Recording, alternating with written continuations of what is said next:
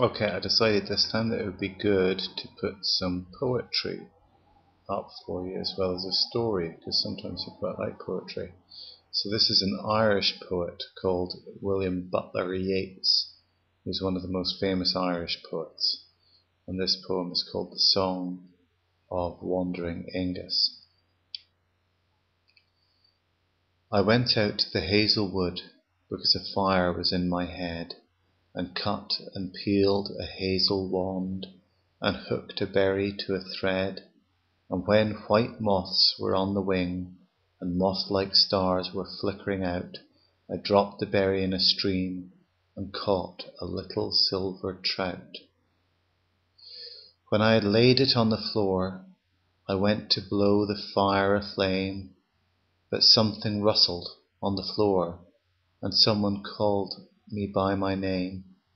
It had become a glimmering girl with apple blossom in her hair, who called me by my name and ran and faded through the brightening air.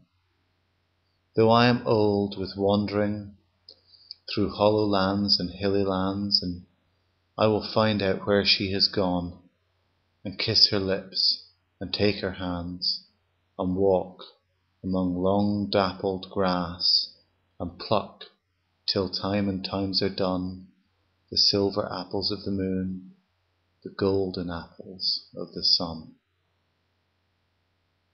There you go. A poem.